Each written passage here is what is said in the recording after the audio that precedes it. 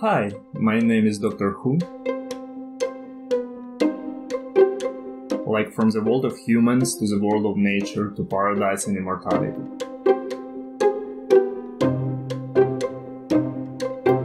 Interesting.